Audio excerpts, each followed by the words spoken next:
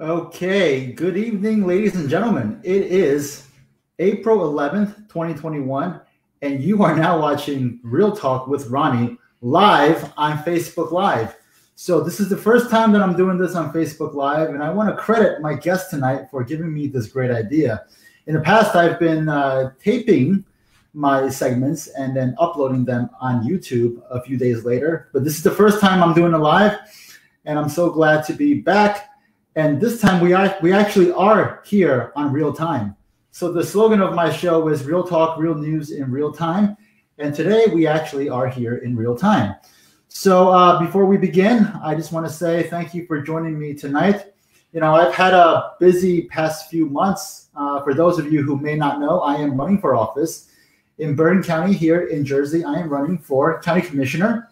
Um, for those of you who don't know what a county commissioner does is basically a legislator on the county level. And for those of you who want to get involved in my campaign and learn more about my campaign, I welcome you all to go to my Facebook page and you can uh, find more about my campaign. Um, you can go to facebook.com slash Ronald Lin USA. That's the official Facebook page for my campaign. And if you want to email me and my campaign and learn how to get involved, you can do so at ronaldlinusa at gmail.com. Um, on the county ticket, we have a great ticket. On the top of our ticket, we have Bob Kugler, who is the chief of police in Saddle Brook. He's been the Saddle Brook chief of police for the past 25 years. He's served the people of Saddle Brook for 35 years. His family has been a staple in Saddle Brook for many, many years. I believe his father was mayor of Saddle Brook uh, so Chief Kugler is running for county sheriff. Uh, for county clerk, we have Bridget Kelly. Bridget Kelly is from the infamous uh, Bridgegate. you know, she was unfairly blamed for that, and uh, she was vindicated. The U.S. Supreme Court overturned her her uh, conviction nine to zero, and she's vindicated. You know, she's literally been through fire, and she has come out of that ordeal stronger than ever, and I believe she will make a great county clerk. Uh, for county surrogate, we have Simone. Simone uh, ran for freeholder last year. Um, she is an MIT graduate. She is brilliant, and we're happy to uh, have her. And my running mate for county commissioner is Tim Walsh. Tim Walsh has been a leader in Bergen County politics for many, many years. And uh, yep, so all together, the five of us, we are making up the dream team for Bergen County, and I believe this year we will do really, really well. So once again, if you want to learn more about my campaign, go to my Facebook page, Ronald Lin USA at Facebook, or you can email me at ronaldlinusa at gmail.com. All right, that's it. that's uh, all I'm going to do tonight about my campaign. I'm done plugging about it. But you know, I would not be a you know good candidate if I did not talk about my campaign on my own show, right? So anyway, for tonight's show, um, I'm very happy to have on our show Mike Osso. Mike Osso is a small business consultant, and uh, he is widely known in Bergen County politics and in Bergen County as the founder of his own political podcast, My Views with Mike Osso. his show can be found on Facebook Live. He does it on a regular basis. And you can search for My Views with Mike Osso on Facebook, and you can get to his Facebook page.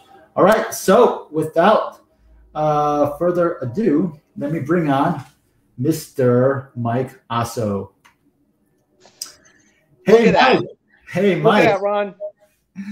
Good to see you, man. How You're are you? Finally live. Yeah, finally live. It's been a long time since I've been live and I'm happy that uh, we have you on our show tonight. I'm, uh, I'm honored are, to be here. Yeah, you are breaking my Facebook Live cherry tonight, so thank better you for you, that. Better you saying it than me. yeah. All right, Mike. So uh, I'm sure a lot of people know who you are, but for those who don't know, why don't you tell us who are you and what makes you tick?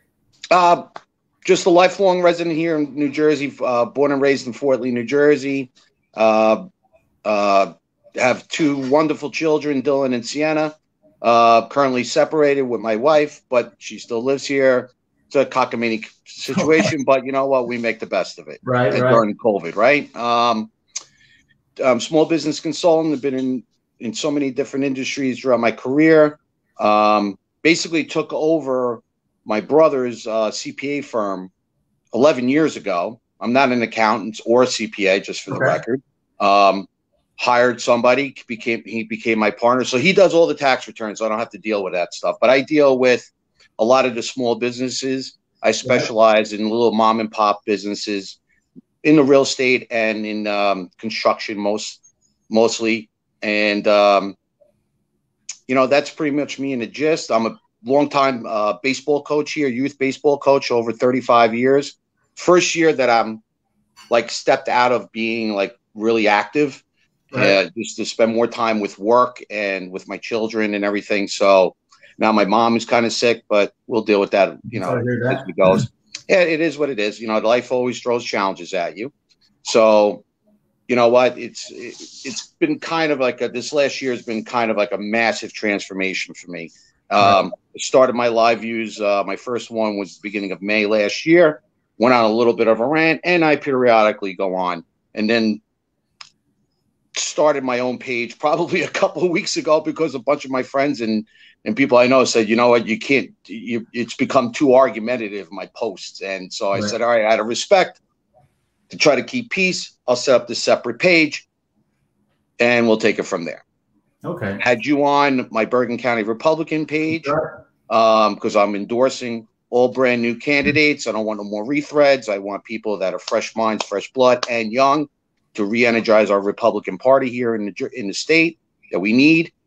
And um, had you on the other night. There was a blast. That there was yeah, great. Good time. Um, and I popped your cherry on. and uh, cherry I'm, like I'm, I, it, was great. Um, and I'm honored to be your first guest on your live. So. Right. Let me know what you want to talk about. Sure. Well, I mean, you know, uh, you're the guest of honor tonight, so you know, I just want to get to know more about you. What makes Mike Osso tick? So, Mike, uh, you mentioned that you are a small business uh, owner and uh, consultant, right? So, yes. being the fact that you're very vocal in politics, especially on the conservative side, do you find that it has, uh, you know, cost you business? Um, it, it hasn't cost me business. Actually, I've gotten business from from my partner who does personal okay. tax returns. Right. So we had an increase of like red people coming secretly coming in. So actually, right. um, and I always have a respect for you know, we have a mutual respect. I always preach mutual respect and reciprocate and respect. And I have a bunch of uh, a ton of clients that are Democrats, and and we try not to. We don't cross that line. You know, we just we, what we do is strictly business, and we keep our political views out of it. Um, it was especially crazy when COVID hit and the businesses went down and the PPP loans started. And first you had the EIDL loans, and it was like my, you know, it was kind of like, oh my god, I got to get going here, and it was kind right. of like an, an emotional roller coaster. And I'll never forget. And what triggered me to do my first my views was um, Mnuchin in the beginning of April was saying we're going to run out of money right. for small businesses in that first round of PPP. And they were playing politics. You know, Pelosi's playing politics, and and I'm going. You know what? We gotta. You sometimes you got to put the politics on the side, and you got to do what's right for the for the business owners here, who especially here in Jersey, were shut. You know, and we needed to get them some kind of band aid, and they were playing the politics. And so I looked at um, my congressman, which was Bill Pascrell here in CD9, and he's talking about how to make masks and blaming Trump. And I'm like, this is a guy who's like on the House Ways and Means Committee, right? That should be pushing Pelosi, who's, you know, their longtime allies here, to say, hey, you've got to, you know, we got to start getting money into our small businesses. We have to put the politics on the side.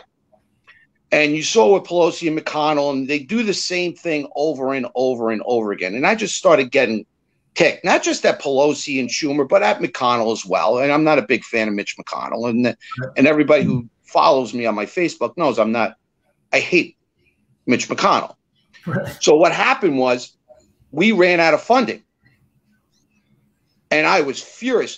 What what I saw was business owners here in Jersey panic because it was supposed to save their employees from going to unemployment.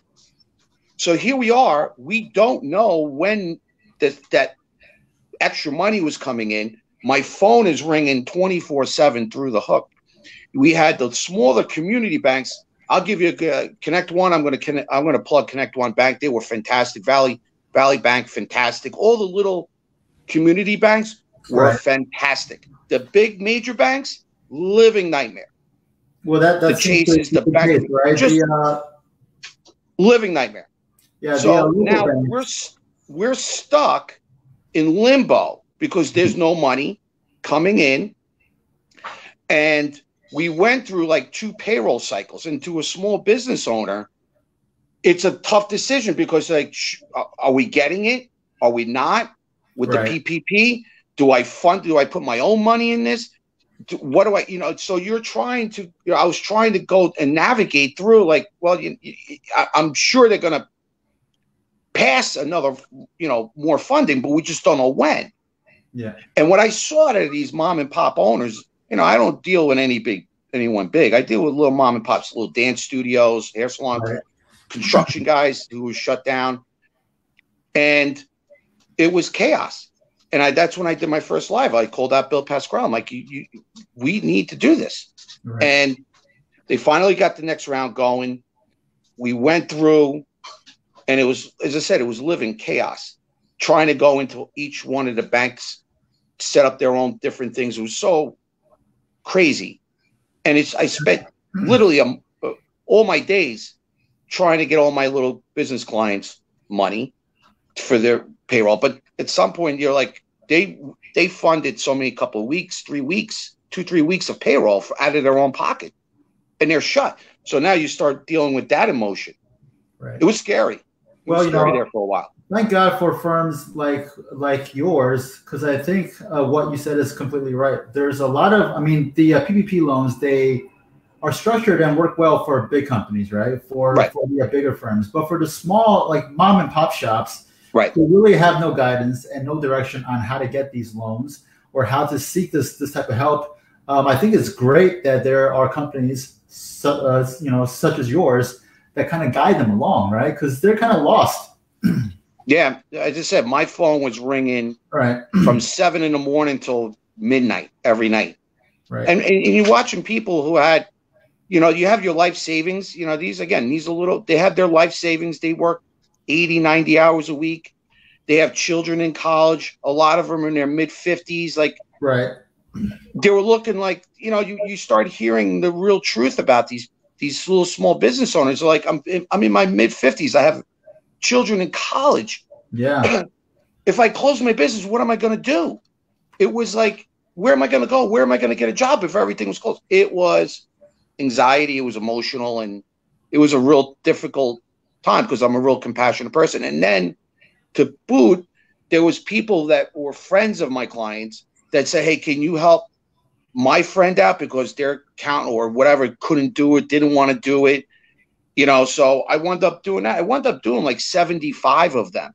Right. And it was really, you know, it, it was pretty wild because again, you, you were starting to worry about when they opened up that second money, will they run out again?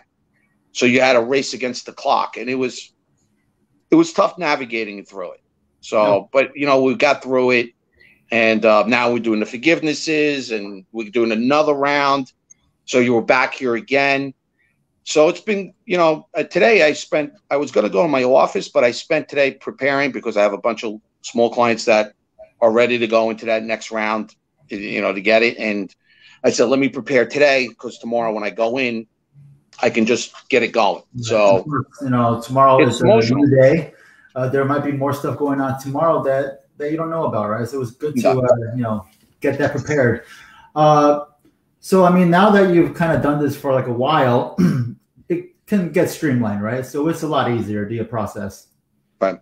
Yeah, right. it's a lot. Of, well, it's a different method because you got to show twenty five percent decrease in, in a quarter or a mm-hmm. year. So you have to go through all the bank statements and make sure you can fill her in. And some are like I think the the bigger magic number was twenty percent to, to really help because twenty five percent to a lot to a small business, okay, is kind of was kind of a stretch. I I thought twenty percent would be better, right? Because you would help. Because you think about it, if you're twenty one percent, and you have to show bank statements, you have to show documentation, you just can't wing it. So I thought twenty percent because there was a lot of there's a lot of companies, small businesses that are in that bubble of 20 to 25 that could use it, you know, 20 to 24 percent.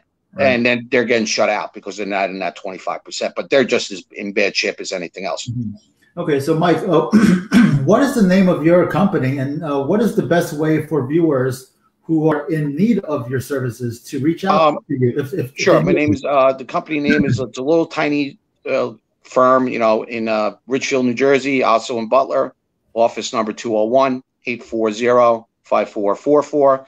The great thing about it is one more time 201 201 840 5444. I actually forgot the number because everybody everybody calls me on my cell. I give right. every one of my clients my cell number. That's how right. That's how I do business. I do every, so everything. Your number your info up here, right? Does that look yep. right to you? Okay, yep. so yeah, so if you're a small business owner or a mom, or if you have a mom and pop shop, and if you're just completely lost yep. in this, you know, current time, uh, you can give Mike a call, also in Butler, 201-840-5444. Um, yeah, I appreciate the plug. I wasn't intending yeah, sure. to No, I mean, uh, look, we are here to try to help people, right? Um, So this is, you know, the least that I can do, right? So Mike, appreciate it. Sure, sure. So Mike, um, so aside from your small business firm, uh, what what else keeps you busy, especially during the pandemic? Uh, during the pandemic was, um, as I said, during during the pandemic, my wife and I kind of separated, um, which was uh, tough. Uh, right. You had I have my two children home, Right. My one son, he plays baseball and he wasn't playing. So that was a big eye catcher. You know, my one daughter, she, my daughter, she could be by herself and she would have the greatest time. But my son, he's so accustomed to playing and being doing baseball, you know, throughout the winter and everything. He was doing like five nights a week during the winter. Right. And then all of a sudden it just shut. And um, so you're trying to balance that, you know, um, then you're living in a whole different world now. You're like, I got to get food, I got to get all this. So you're trying to navigate all that stuff, and um, you know, it was it was a really. I, I, said this in the beginning of COVID. I said one or two things are going to happen to to families. Either you're going to have more babies, or you're going to get divorced. So it was going to be one of the two. So, so, I might be heading down number two, but you know, it is what it is. You know, but well, we make the best of it. Yeah, you know, the education system was it was it became nothing. Mm-hmm. You know, I think that took a toll as well. Um, I used to be on the board of education here in Fort Lee, um, and I saw that as well. You know, th- I gave them the benefit of the doubt because you're trying to go into remote learning. You know, they did the best they can. You know, between March and and June, you know, they did the best they could. You know, not a big fan of it now, but you know what? We can't have everything. So yeah, I mean, uh, you know, this remote learning is good, but at the same time, it's not healthy, right? Like I mentioned on your show on, on Thursday night, uh, the the teen suicide rate in New Jersey has gone up by forty percent. Yeah. So that that means out, out out of every ten teens, four are on the verge of offing themselves, right? So right. at some point, this needs to stop because remote learning, while it's easy and it's conducive, it doesn't beat the uh, imper the uh, the in person thing, right? The uh, right. in person experience is uh, is very needed, right? Right, right now, especially in, in a time when everyone is caved up in their homes, right? We need to be social. We need to be out there, and it's not just for our state of mind; it's for our pocketbooks too, right? Uh, businesses need to start opening people need to start going to work because bills still need to get paid. Right. Right. You know, so we, you know, when you when you we touched on the education, I want let's go with like I live in Fort Lee, so we have a, uh, you know, our children are, are pretty okay. You know, listen, there's always like we're spoiled. You know, like oh we want this, but but when you I really start to look at the students in Camden, the students in Trenton, the students right. in in in Newark and Jersey City and all these inner cities, you know, areas, urban areas that have been shut down since last March. And the, you know, they're already at a handicap opposed to like a suburban school district. And they already have bigger challenges on a normal day-to-day basis. So when you shut down and go remote, they are more impacted negatively than my children. You know what I'm saying? Because you know, I always go about the wants, likes, and needs in life, you know, and I want and like.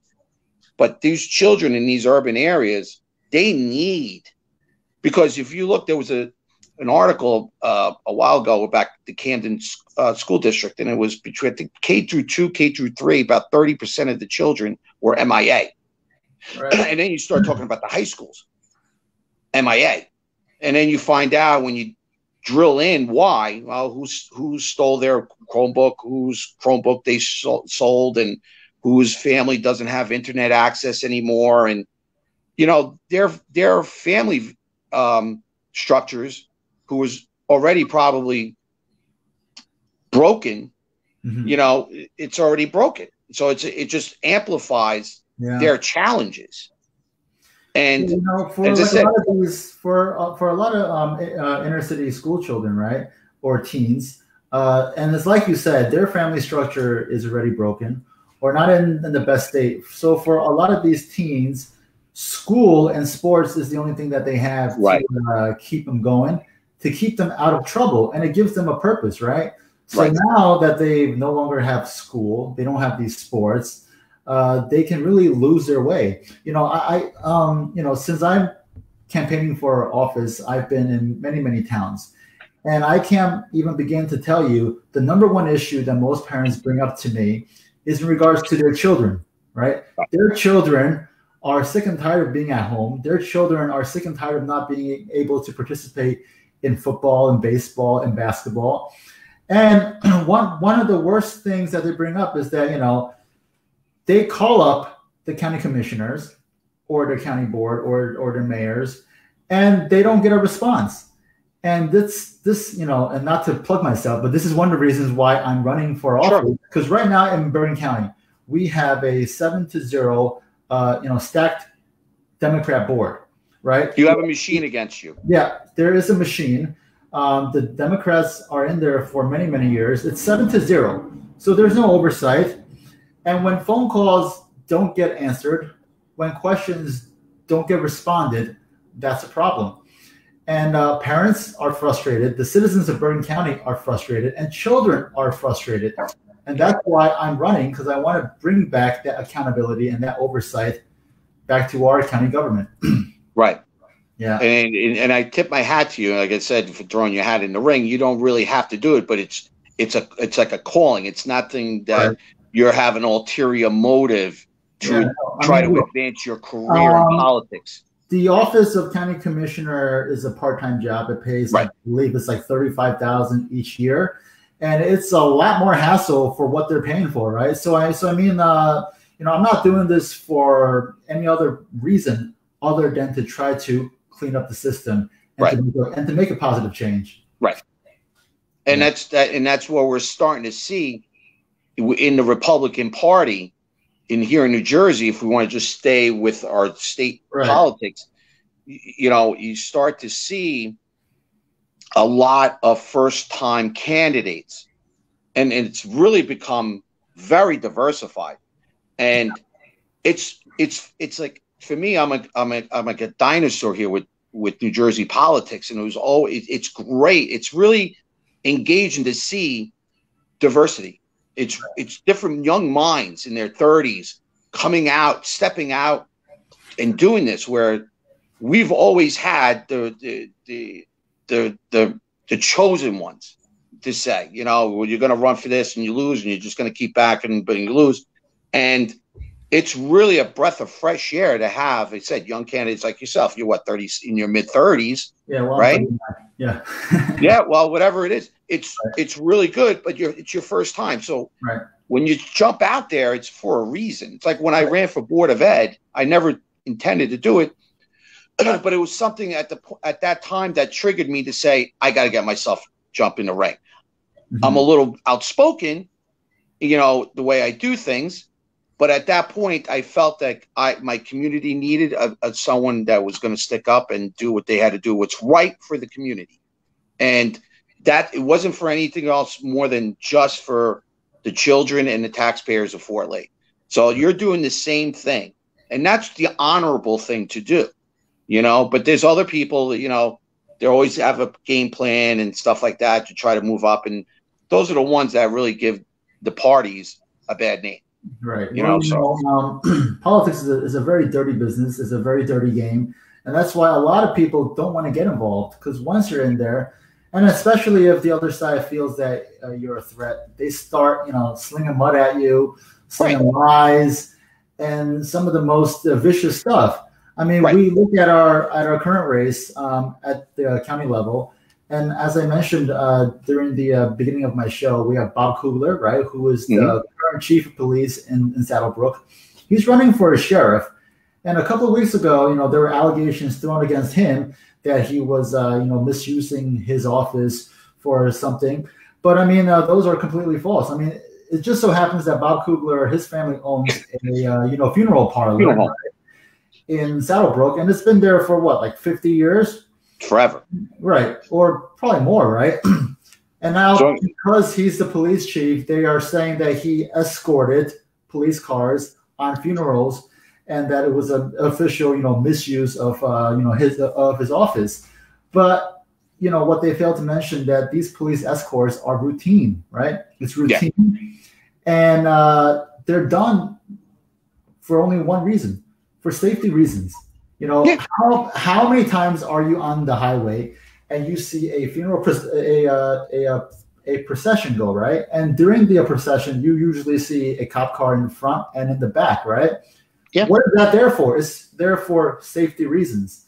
Right. And uh, you know now they're trying to say that he did something wrong and they're trying to charge him. And mind you, this isn't coming from the uh, county prosecutor. This is coming from the state attorney general.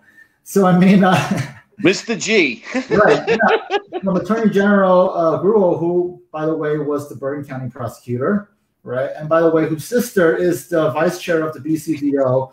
So I think a lot of these accusations are, well, not a lot of them. This whole thing is politically motivated. Right. It's a political prosecution. It's right. political persecution.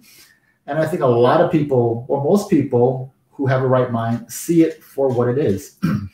well, and this is what we we spoke about the other night about you know I'm a firm believer with the 95 percent of the media mm-hmm. against a Republican, right? And I you know and everybody when I talk about media, everybody thinks it's Fox News, CNN, MSNBC. No, no, it's every type of media, every type of media that that is published or communicated, and it's always always slanted against a Republican.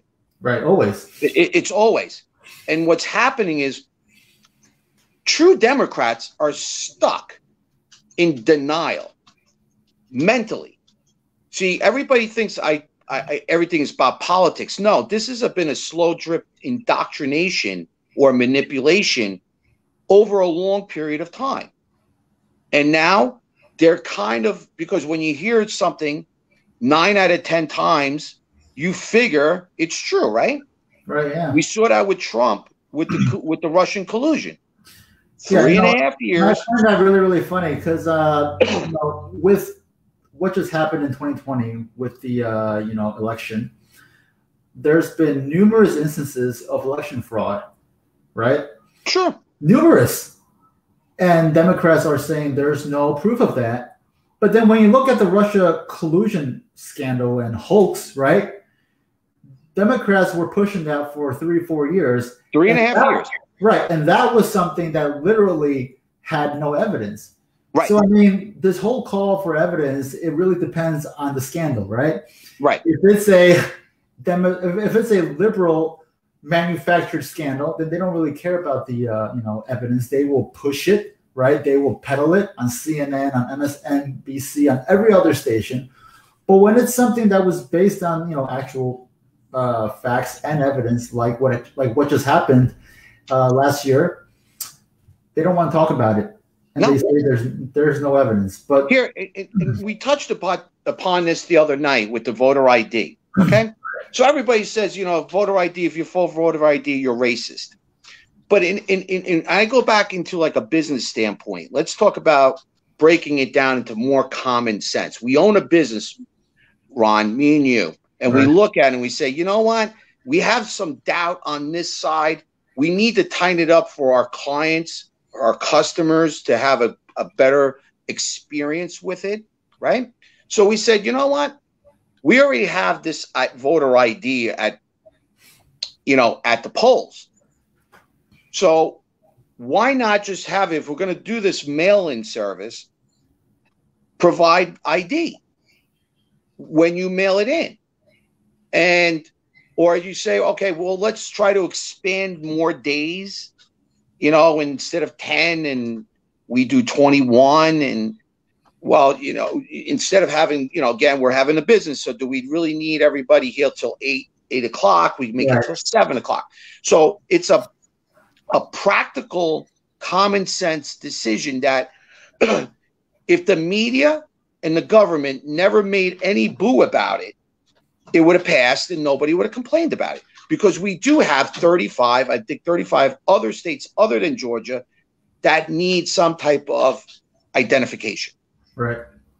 So since Georgia is now a you know one of those purple states, okay, it's now a, a swing state. They want to keep it that way. But in common sense, if you asked anybody, okay, would you? They'll be like, all right, if I, yeah, I got to use an ID. I'll use it. I'll make a copy of the driver's license and I send it. You know, it just becomes. But the way the media portrayed it and the way government portrayed it, they already threw it into their narrative. Right. Again, through the mind. If you disagree with this, you're a racist. So it was already out there. It's not like you say if you disagree with it, you're, you're an idiot or you know you have debate about it. No, no they, they, had to throw the word. If you disagree with this, then you're a racist, right? Right, immediately. and this is the stuff that I just don't appreciate. Right. You know, in, in June of last year, late May, we had some several Black Lives Matter protests going through Fort Lee. I was with my son, and they were playing in the park, and they this guy comes up to me. I knew the guy from my son's school, and he's like, "We're talking about," it. and he's like, "Are you gonna go?" And I'm like, "No," and he's like, "What do you mean?" And I'm like, "I don't believe in it." You know, it's become it's it's it's become political. It's not even about anything. Right. Next thing you know it, in a in a thread on Facebook, I'm being called a racist. You know? Then my son comes home one day and says I can't hang out with this kid because his parents don't want to ha- want me hanging out with him because of me and mom, you and mommy, because we're racist. I'm like, have, have people lost their minds? So I went into the thread that one, and I'm like, if you got you want to call me a racist, Meet me at this park and call me to me in my face. You you don't know me. But right. that's the way they just it's massaged in. It's like if you hear anybody talk about with this voter ID talking about Jim Crow. They heard it from the media. Nobody knows who Jim Crow is. You know what I'm saying? So you could see when they talk about and where they're getting their information from. And right. it's completely distorted it's kind of like it's complete. The, uh, yeah, with the uh, whole uh, immigration thing, right? Like President yeah. Trump, he wanted to stop illegal immigration, illegal, right? Illegal. Yeah, yes. and I've been called a xenophobe for but, my well, my stance on illegal immigration. Uh, me too. You know, I have a lot of people telling me like, "Oh, Ronald, how can you be against immigration?" I'm like, "Well, a, I'm not against immigration. My parents immigrated to this country, right? But they did it the right way. They did it legally." Um, there's a difference between legal and illegal. Right. President Trump and I think every uh, right-minded person or common sense-minded person wants immigration. I mean, that's the bread and butter of our country, right? We are right. That's the fabric of our. That's yeah, the fabric of our country. fabric of our country. Um, and like you know, we are make we are a great country today because of immigration, Right. because of legal immigration. Right. The, the diversity that, that we have is what makes our, our country great. But the Democrats and the liberal media, they conveniently leave out that legal word. Right. They, They call, they went to undocumented. Yeah, and they just say that we hate all immigration, and that's Because they, they what they do is with that they play the humanity card right. that you know the, we're we're inhumane for not doing this Yeah, and then you know you- and they and they put and they slap the label on to make us feel Right. guilty Yeah, and But at actually, the if you essence- look at what Joe Biden, if you look at what Joe Biden is doing right now at our border, or actually what he's not doing, that is anything but humane. Because, uh, you've got thousands upon thousands of unaccompanied children and minors at the border, or being brought to to the border by cartel members or by you know whoever, and uh, they're being used. They're being used. Right. And the media won't report on that. Uh, they only report about how Trump put ki- kids in cages, which, by Right. the way, was, was not true. Those cages were from Barack Obama's, you know, Right. era. Um, so, I mean, what the Biden, you know, team is doing right now is totally inhumane. Um, you No, know, he he hasn't gone to the border. Look, then, let's let's even slice it down. I don't want to interrupt you, but on the Sure. daily press conferences with the White House press conference, Jen Psaki's like, "Oh, we're going to circle back to it or whatever," and everybody's okay with that. Right. You know, the White House press corps is okay with that, and there's another double standard that people don't realize because if this remember when Trump was doing it, they were killing him. You know, here are you gonna Jen, you're gonna say, okay, no follow-ups, no anything else. and I'm trying to show people, you know, on my Facebook page, look at this reality. You, you we talk about the Hunter Biden gun. Right. I want you to think about this. Okay, his girlfriend, which was his uh, brother's wife or whatever, his deceased Was, brother's wife. was very disgusting and like, All right. Well, uh, well, look, so I, I'm not even going to go there, but Right. let's think about this. The gun is in his truck, right? She takes the gun because she's feared for his life, that he's going to take his own life, right? She doesn't take it to the police department, right? She doesn't. She dumps it in a dumpster across the street from a school, right? yeah. Everybody comes in. Forget about the Secret Service and anything like like this. Let's just think about common sense. Some guy finds the gun, right? Brings back the gun, and Hunter Biden got back the gun. I want you to everybody to think about common sense. This is what the media is talking. This is not about politics now. This is about I want people to see, but they cover it up and downplay it. Right. Because if you go after Hunter mm-hmm. while he's had drug issues, well, you're not supposed to have a gun if you got a drug problem. You got discharged from the military for drug issues. And how did you get a gun? It just doesn't make sense. But everybody brings it back to politics, but it's not. Right. And, and this is the stuff at this time that we all get sucked in and, and they divert back to Trump. Or now they're going to divert it to gun control. But here's a guy, the vice president's ex vice president's son in 2018, they covered that up. Because if that was Eric Trump or Donald Trump Jr., it would be 24 7, Oh my 365. God! If it was Donald Trump Jr. or Eric Trump, they would be in prison by now. they would be in prison. It would be everywhere. Right. You follow? It would be even on Cartoon Network. They would be showing this. This is how crazy, and, and and everybody's okay with this. And I'm saying, how can you be okay with this? You're seeing a blatant double standard in the media. You know, it's just mind-boggling, and it's not even about politics. It's about blatant protection. It's about a right and political wrong. party. I mean, if you want to boil it down even even more, uh, you know, you know, simply, it's about right and wrong. And the Right. media, I mean, they they are providing cover for Hunter. Well, they've been doing it since day one, right? Um, I, mean, the scandal with Hunter, you know, dealing with China, with uh, you know Russia, with all the foreign countries, that should have been a big issue. That should have been, but the only site that that reported on this, you know, news was the uh, New York Post, right? They were the only right. one. Right.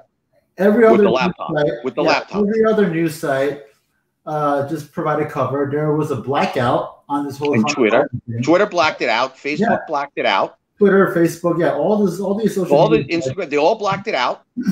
they all blacked it out to provide cover Right. long enough for the presidential race to come and go. And Right. now we see a little bit more about it, right? But by now, Right. you know, the damage is done, right? So people don't care about that anymore. Um, Right. So this is what the media did.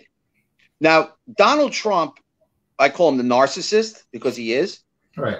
He in 2016, I didn't vote for him. I hand wrote John Kasich just to for whatever. So I wasn't too sold on him because he's never a politician. So Kasich had uh, a history of balancing the budget. So I kind of liked him, and even though he lost or whatever. But I just said, you know what? Trump is not at this point not my type of guy. So what the second he was a media darling until he got to the nomination, right? He was on MSNBC, he was on CNN, he was a media darling. He was a And- and all the cow for uh, for like NBC. I mean, his show, his show, The uh, Right. um, Apprentice, was a cash cow. So I mean, Right. he was adored, and everyone loved him. I mean, he Right. had a roast, right? I mean, there, there was there was a roast for Donald Trump on like Comedy he- Central. He was on he was on he was on every morning, pretty much every a lot with Joe Scarborough on MSNBC in the morning with Right. with uh, Mika Brzezinski. Okay. Yeah, until he got the nomination. The second he got the nomination, it was the pit bulls came on to destroy this man, right? So now you have polling companies like which I can't stand doing. You know, he's he's down fifteen, he's down sixteen, he's this that. Just it's all mind manipulation. You're Right. manipulating the mind. The machine is now kicking twenty four seven. Bad, bad, bad. You know everything out of thing, everything, and and Trump fed into it. But what Trump, no one figured there was that he outworked Clinton. I mean, he was doing three rallies a day for like a month. Clinton ran out of gas. She did. Let's yeah, be well, honest. yeah. But you know, to be fair to Clinton, she still had more gas than Joe Biden, right? Yes, yes, she was, but she was more polarizing. That's why. But we'll talk about. Yeah. But so anyway, but the second he, the second he won, it was full blown. We're going to destroy this man, and they did every day, twenty four seven, every day. There's three percent. Three percent, or maybe even four percent of the ninety-five percent of the media was po- positive for Trump Right. in three and a half years. And we can count the uh, the uh, media sites on one hand. Right, but I'm not even talking about what happened with Fox. Right. You know, in Fox and in the, I'm talking about the other 95 percent of the media gave him four percent at the most positive coverage, and this guy did a lot policy wise, but they never wanted to talk about his policy. They just I mean, kept on demonizing him. in He the didn't Middle help East, his cause. in the but- Middle East, there were so many peace deals that that Trump signed. I mean, he's the first president in a long while where uh, you know where he didn't get us into war. I mean, we've been at peace during the past four years of you know of like Trump's of uh, Trump's presidency, and that hasn't been done in a while. But that doesn't get talked about. Right. It doesn't. I mean, what he's done for our, our, our domestic policy, what he's tried to do foreign policy wise, you know, if you notice, and I said this, this was the first debate between the debates between Biden and Trump. The foreign policy was never a discussion. It was never a discussion because we're at peace. Right. You know, Trump wanted to get people out with where the left wanted all our troops out, and he's trying to do it. But meanwhile, the media is destroying them. And they're agreeing with him. It's like you it's like what they've done now is manipulated so bad that the Bernie Sanders wing of the Democratic Party is running the show through Joe Biden. Right. Because they're the most vocal.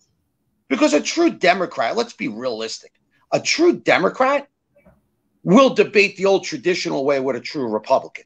Right. All right? Let's just be real. But now you got this nasty, outspoken group. And my and I know this firsthand because my wife, ex-wife, estranged wife, whatever you want to call her, in 2016 supported Bernie Sanders and and campaigned for him. Okay? But she was so passionate about this right. until she really saw what the Democratic Party did to him during the primaries. Okay? And they sabotaged him. Right. And she saw that and she started to switch. So your wife she, is now a Republican or my wife is more of a libertarian. Okay. Um well, that's a big switch. She, she went from yeah. I mean, when I met Bernie, my wife, uh, a socialist, uh, Bernie a, a supporter, to a libertarian. Hey, Ron, you want to laugh? My my soon-to-be ex-wife, strange wife, whatever label you guys want to call her, I'm fine with it. But anyway, when I first met her, we met on Match.com. Okay. Here I am. I'm a Republican, and she is a left-wing liberal. Right. Social worker, Emily's List, that whole mo- movement. They taught her how to speak out and get in people's faces. Right. You know what I'm saying? So I we wound up getting married. I never knew how, but I think the only thing was she liked me because I drank, right? I drank and smoked, you know, whatever. But there was many nights where, you know, it was like crazy. So I'm kind of used to it. With well, together. Let me ask you: Do you think the politics might have been a reason why you guys are now separated? Do you think that was an impact? I think it's it, it, it it's part of it. Mm-hmm. I mean, a lot of it is probably. I would say it was the starting point. Right. Okay, because she looks at things differently than I do. I'm more of I'm aware of things. Right. I don't go and go crazy. Where she is a really passionate person, what she believes in, and she just shouts things out. And, and I'm like, I, I want to live in awareness right. where she's more of, again, coming back from that left wing liberal movement right. just throwing things in, in people's faces. And she's actually doing it against Democrats. Well, you know, um, crazy, crazier things have happened, right? I mean, your wife was a liberal. Now she's a, a uh, you know, a libertarian. libertarian. um, because of COVID, you guys kind of separated. So who knows? Maybe you guys could still get back together. you know what? I got bigger fish to fry right now in my life, but whatever happens, happens. You know, well, you, I'm gonna pray for you guys anyway. Well, listen, it, everybody says the same thing, but I'm like, you know what? I still have to live my life day to day. I still have the responsibility of the children. I'm self-employed. I got to put food on the table. Right.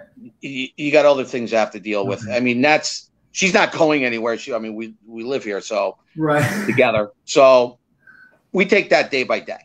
That's all, I can so, say. We Mike, we, have uh, dedicated a big part of the show talking about national politics, right? Why don't we bring it back to Jersey? Let's talk okay. about Jersey politics for a little bit. Um, sure. Year in Jersey, uh, we have a governor's race. Well, we're one of two states in the country that have right. races going on this year. So New Jersey will definitely be in the spotlight uh, this fall. And like I said, uh, I believe what happens in New Jersey this year is a bellwether for what happens uh, next year during the uh, uh, midterm races. Right, next year right. we have a lot on the line. Um, I think we're in a good position. The GOP is in a good position next year to take back the House, take back the Senate, right? Uh, oh, I mean, in, in, the House, the Democrats have a razor thin margin. In the Senate, we're we're literally tied. We're literally right. tied. Uh, and of course, what happens next year will be a big indicator for what happens in 2024. Um, I know there are a lot of people that are hoping and praying and wishing that Donald Trump runs again in 2024. Um, I think that's a big possibility, especially if the Republicans are able to take back the House and the Senate in 2022. Yeah. Um, but back to Jersey. Right. Uh, what are your thoughts on the governor's race and on everything else that's going on? It's now? look, it again. I'm going by the manipulation of the media, and right now you can start to see that the the the the, the three the three main people are, you know, between Mr. Singh, Mr. Ciattarelli, and Mr. Rizzo, they're starting to heat up, right? I told you that the other night. It's going to be start being blood. Well, it's going to start being blood in the uh, Phil Rizzo, he qualified for a matching funds, right? Right. So um, he made. But whatever the case, they're going to. It's it, it's it's historical. It's Jersey. Right. It's there's blood in the streets. But what we have to be careful here, all right, you can always go and throw some red meat against your opponent, but you have to be careful now because I go I keep going back to that 95% of the media. Mm-hmm. Okay? Is that it will destroy whoever comes out with the nomination. Right. Because you will see no, you'll see nothing about negative about Murphy, that Mama Luke from from from Trenton, nothing. All right, and I we met we we spoke about this the other night. Can you just imagine if Chris Christie was governor and 40% of the deaths that happened in nursing homes under his executive order, he would be well, he would be impeached, destroyed. He would be uh, hauled off to jail or prison, destroyed. Right? Yeah, there would, would be there would be picket signs every day in Trenton, murderer. Right. And the and the media would be enabling this and leading this. But now it's all quiet. Right. You follow? So what they do is they look at Ciattarelli, they look at Rizzo, they look at Hirsh, they'll look at any Republican that's going to be a threat to any Democrat in any race. And they'll they'll you know, the Democratic Party will stick the pit bulls on. Right. Which is the media. Right? It's just the way it's just the way New Jersey's been. Yeah. You know? Um, you know, and I was talking before about how Bob Kugler is being persecuted by the uh, state AG, right? And right. I, I've said this. I mean, it shouldn't it, even be done by the state AG. Right. It should be done. Well, I mean, if it should be done at all, would be from the from the county level, right? Right. It would be down more of whatever the case yeah. may be, but but they're going straight to the top guy from right because they view Bob Kugler as a threat. As a threat. And he is because he's an outstanding candidate and he will do a great job. And I really believe in my heart of hearts that he will be our next sheriff, right? But I was I was saying that um, if the attorney general really wanted to do his job and investigate misconduct, he ought to look into his boss. Phil Murphy has literally been responsible for the deaths of over 8,000 people in our state 8,000 veterans, 8,000 senior citizens, right? There are over 8,000 deaths in nursing homes because of the direct actions of Governor Phil Murphy. I mean, his and it's unden- it's un- it's in, it's it's undeniable. Yeah. You cannot defend it. His people literally told him that uh, you know this is not a good idea. If you stick these patients in nursing homes, people that would not otherwise die will die. Right? They told him this, and what did he do? He went ahead and did it anyway. So I mean, this to me is uh, you know is negligence, it's misconduct, and it is uh, just outright shameful.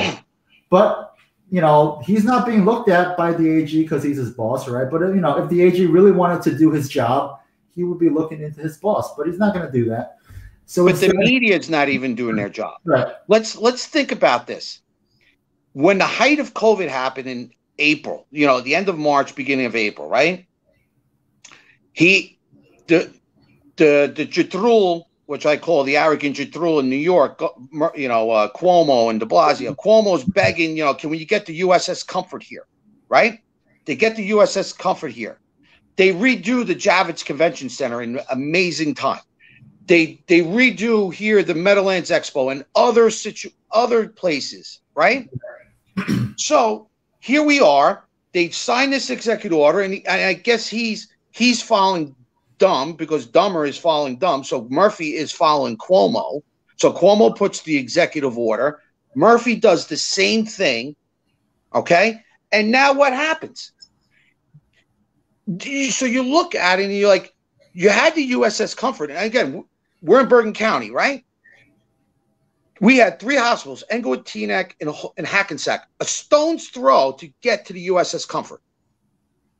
Right? Yeah, literally. You had the waterway. You had any access that you needed to get these people to the to the USS Comfort, to any other area. What did they do? They put them back in the nursing home. So you look at one or two situations. Was it political because you didn't want to give Trump the credit for doing this?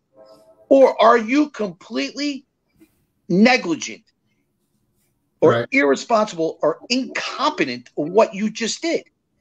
Your very first duty as an elected official is to is to provide safety for your citizens. Yep. But you don't see the media talk about this. Right. I mean, look, at, at best, he was negligent. At worst, it was deliberate and uh, political. And, you know, they right. literally put people's lives on the line, and people died because of these political, you know, uh, calculations, right? Right. So it's it's very very shameful, and the media doesn't doesn't focus on it. And, and here's here's the other thing we touched upon this. This was already a pattern that started in Washington. Right? Remember when the first doses came out in the nursing homes in Washington? Right. It was so if you looked at what happened in Washington with the nursing homes, common sense says I can't put these people back in. Right? So you, you are you completely incompetent, negligent, or political? It's it, it's nothing's good here. But the right. media covered it, covered it all up. Yeah, and now the and now here's the best one, Ron. The families who are, you know, want answers. The media plays them as po- being political, right? It's like these are people that they want answers why they did this. These are people that, and they died alone. You know what I'm saying? You, you gotta, you gotta look at these people died by themselves. It, it, it's it's like unbelievable, and, look, and nobody wants to report. Today can no longer hug their grandparents or you know talk on the phone with their grandparents because of the direct actions of this governor and of you know of this political party, right? Right. So I mean, uh, you know, it's it's just is downright wrong. And, and, you have every other Democrat. See, the Democrat, you see what happens with us, Repu- the Republican Party, right? Everybody's speaking. You know, we got all these different wings and different factions. Who's a RINO? This and that, right? Blah, blah, blah, right? We're all like this, right? It's like a big hurricane. Right. But if you watch the Democratic Party, shh, stay silent, total line. Even though they may hate Murphy, right? They know the marching orders. They're more disciplined than the Republican Party. Now, why do you think that is, though? because it took them so long to get to this point of mm-hmm. power. It's been a long time process. I want you to go back. Remember, we spoke about Reagan back in 84, right? Walter Mondale was a liberal. He lost 49 states, right? In 88, they got Krill. They tried to do the same. It didn't work. They shifted with Clinton, a moderate, right? They didn't he Clinton never got 50% of the vote both times. Right? Then they bring in Gore. Gore makes a mistake, you know, whatever he lost. I thought he made a tactical mistake keeping away from Clinton because he lost Tennessee and Arkansas. Yeah. Then nobody wants to talk to him about that. But anyway. Home state of Tennessee. But anyway. What's that? He lost his own yeah. home state. He wins either Arkansas or Tennessee. There is no discussion. Right. Okay, but that the media never told you that. Let's go now. You got the the guy from Massachusetts who ran against um Kerry. Kerry. Yeah. And the first thing was he's left of Ted. You remember that? He was left of Ted. He's got the wind thing going on. Right. So they tried and it didn't work. So they disguised Obama as a, a hope and change moderate where he was, they started to disguise these people. And they're doing the same thing now. They knew this progressive agenda, which they have had in works for, for years. The only way they can do this is disguising. That's why Biden's there. Yeah. That's why Biden was kept quiet. Well, you because know, they have this progressive Biden agenda. right now is essentially the third term of Barack Obama. I think everybody right. sees that. It's basically the same thing. And now what you're starting to see is what what you're really starting to see in the socialist movement, I don't even call them ultra progressive. They are socialists. Let's call it a spade a spade. Right. The only way to win seats is through primaries. So these socialists, like AOC and all these socialists, they win in the primaries, right? Yeah. So when you get to the general, the strategies, or we just want to hold the seat, right? So the machine, which is a true Democrat, is saying, well, we just we if we lose the seat, we'll never get. You know, it's harder to get back. So they just back these socialists. It's just to keep power. Right. And and that's how the socialist movement knows how to win elections. Okay?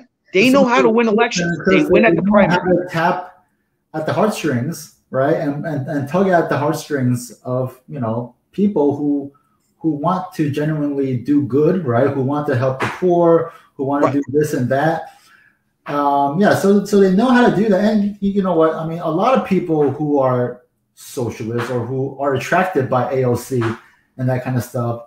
A Which is the younger manipulated right. generation that's lot of them have good intentions, right? They have good intentions. They do want to help out, but what they don't understand that the socialism way of helping out is actually not helping out at all, right? It's actually hurting everybody.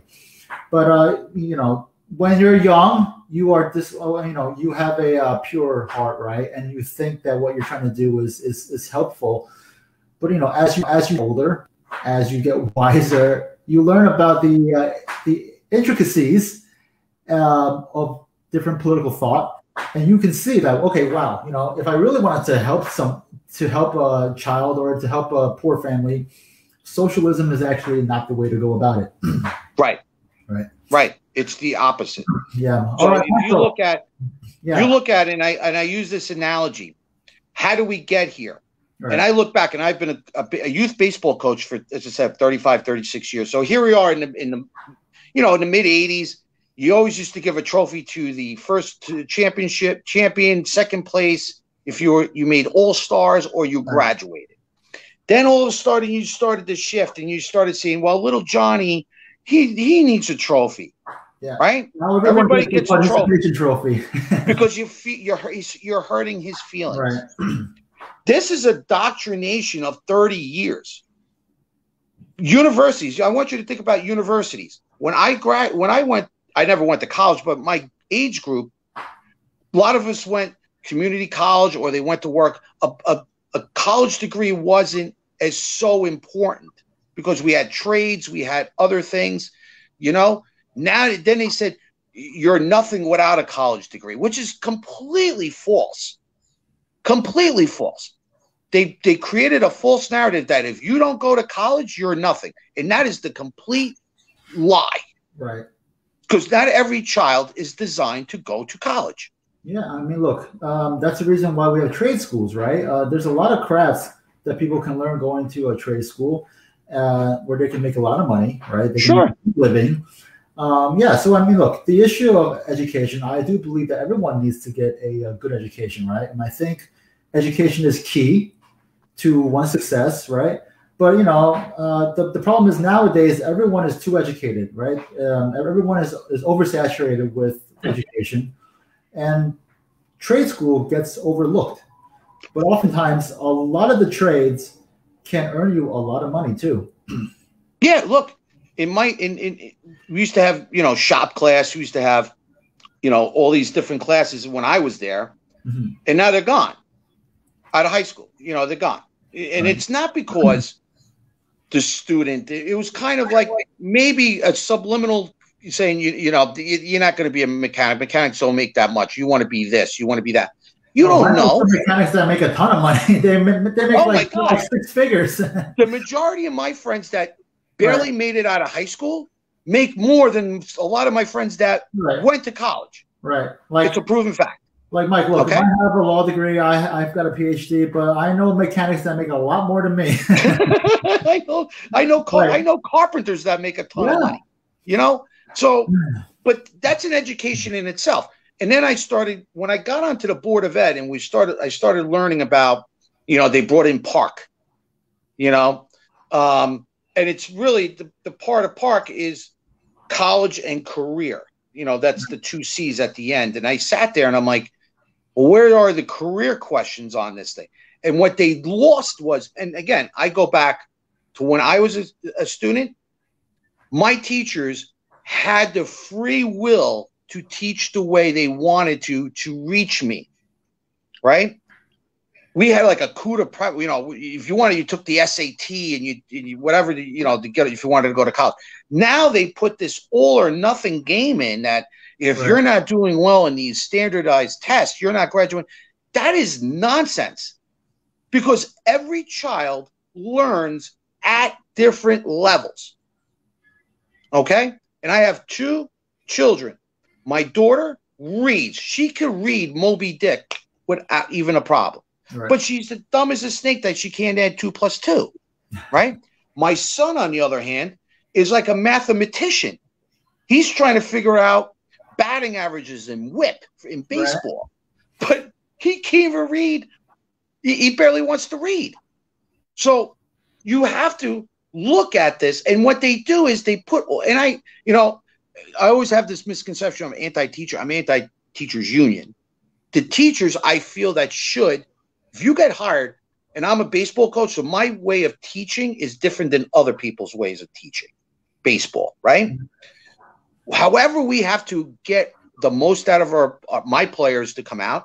I'm not may be for everybody, but mm-hmm. in education, it's the same thing because you're learning, right? So right. development. So they just keep pushing. Like they just came out, state of New Jersey. Uh, we're not going to take the ninja, you know, the standardized test for the second straight year. Oh my God! It's like, oh my God, the poor child. Can we get this? Get the kids in school first and worry about who cares about this stuff? This is what's crazy about this. But I don't want to see the teachers teaching to a test and then being subject to, you know, to that because that's not what they signed up for. They signed right. up to teach, to be creative, to reach. If you got 20 different children in your class, they might have to do 15 different ways to reach that kid. No, now it's like we're back in the old days. Mm-hmm. And it's just not working in the 21st not century. Right. It's not right. It's not working, and something really needs to change, right? Okay. And you mentioned it. The, you mm-hmm. mentioned it the other night. Yeah. These children don't have critical thinking skills. They don't. Yep. And they don't. Yep. And uh, it's not just the children. I, I think much of the Democratic Party they don't have critical thinking skills because they're all you know parroting the same illogical notion. many, many well, times. because remember what I said, they have to stay inside right. the line. Yeah. Where the Republicans are like the Hatfields and yeah. the McCoys within themselves. Yeah. Well, I mean, uh, that's good and bad, right? It shows that Republicans like us, we have critical thinking and we can argue with one another, right? But at the end of the day, after a primary, we all come together and we all support our candidates, right? Because right. uh, and that's so important, especially this year, especially in this state where we have a governor's race. Um, um, you know, and all the races, including my my race, right? Um, hey, you listen, you're going to have a tough race. Yeah. And I'll tell you the reason why. If you and Tim, right, it's Tim Walsh with you, right? Right. Right? Yeah, if yeah. you and Tim start to remember what I talked about, if you start to dent the armor of the machine, they'll sick the they'll sick the tack dogs on you and find whatever garbage it is that could be when you were six years old. And like I said, uh, you know, the minute they start attacking me, it shows that you I'm, know you got I'm doing something right, right? Right, you are. yeah. But what happens is that, but you don't hear anything about your opponents. Your opponents are being right. covered for whatever sins they have.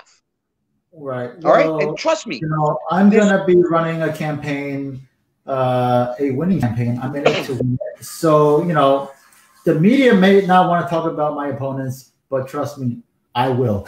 yeah. Look, you think yeah. about it. We had the, the veterans home in Paramus, right? right? Big problem. They all stayed silent. They didn't call Murphy up and make a big thing and say, Jesus, God, you got to do something here, right? But if it was Chris Christie, they would be in front of every camera in every news cycle, the Bergen Record, the Star right. Ledger, and everything else, calling for Christie's head. That is yeah. reality. And people don't realize it. And on that note, Mike, so we are coming up our hour mark. Uh, I'll, oh, give wow. one, I'll, give you one, minute to talk about one minute. What talk about? Yep, one minute. One minute. One thing. Deal. Because it's you, I want you to vote Bergen County, Ronald Joseph Lin, and what's it? Uh, Walsh, Tim Walsh, uh, and Tim every Walsh. Republican vote them in. We have to start making a dent in the armor. For whatever reason, if you feel, I, and I want you, this is a big pivotal year. We cannot have four more years of Murphy. Okay? And we got to start it start evening up every political office we have. This is a very pivotal year. This is the year that we can do it. We have a lot of young give these young candidates a chance. That's it. Thank you, Mike. And also, just to give a little plug about your show. So, Mike, uh, your show is My Views with Mike Osso. You can yeah. search for it on Facebook. There's a Facebook page. That's his official Facebook page for his show. Please like it and share it. Mike has. Yeah, I'll be going on sometime this week, probably on Friday, because I'm going through the April 15th. So I'm going to be kind of nog, even though I have another month. We're still trying to push everything through April 15th. So probably next weekend, I'll have a good right. one because I'm I got some other things I want to talk about. So right. stay tuned. Sure. And also, if you are a small business owner, if you're if you're a mom and pop shop and you are lost in this sea of PPP, you know, nonsense, right? And you need some guidance and you need like a guiding light, please call up Mike and his firm, also in Butler, right? 201-840-5444. They have been helping a lot of people in this process, right? and uh, they know what they're doing. So call them up, call Mike up. He will help you. Okay. And uh, once again, Mike, thanks for coming on the inaugural. thank you for the opportunity. Facebook sir. Live show of Real Talk with Ronnie. We'd love to have you on again, Mike. Oh, anytime. Nothing but the best for you. I'm here for you. Whatever I can do to make you win, I'm here for you. Thank you, Mike. Thank you. Thank, thank you, Mike. Okay, Mike, have a great night, and we'll be talking to you soon, okay? Peace out. Thank you. Right. Peace out, Mikey. Okay, everybody. So that was a great show tonight. Um, once again, to plug my campaign. If you want to learn more about my campaign, please go to my official Facebook page, uh, facebook.com slash Ronald Lin USA. On my Facebook page, you'll find out ways on how to get involved, how to donate, and uh, how to help us win. Because, like Mike said, every race is important and all politics is local. Uh, if, we, if we want to start making the big changes, we got to start from the from the local level. That's in our towns, on the county level, on the state level, right? Only when we can change and flip those seats can we go on and make changes on the federal level and on the bigger level. So please go to my Facebook page to learn more about my campaign. If you want to contact my campaign, go to ronaldlinusa at gmail.com. ronaldlinusa at gmail.com. And finally, I invite one and all to like my show, Real Talk with Ronnie. If you think you have an interesting story to share, please contact our booking department. Uh, you can contact us at Ronald, uh, sorry, Real Talk with Ronnie at gmail.com. Okay, Real Talk with Ronnie. And of course, our Facebook page is Real Talk with Ronnie. You can follow us on YouTube, same handle, Real Talk with Ronnie. And finally, just to give you my um, the email again, it's Real Talk with Ronnie at gmail.com. Once again, we are live every Sunday, 8 p.m. on my Facebook page. We're so happy and thankful for Mike Osso for uh, you know coming on our first show and for showing me the light when it comes to Facebook Live. All right, so everybody have a good night, um, have a good week, and I'll see you all next Sunday same time and same place. Okay. Good night and God bless. Bye bye.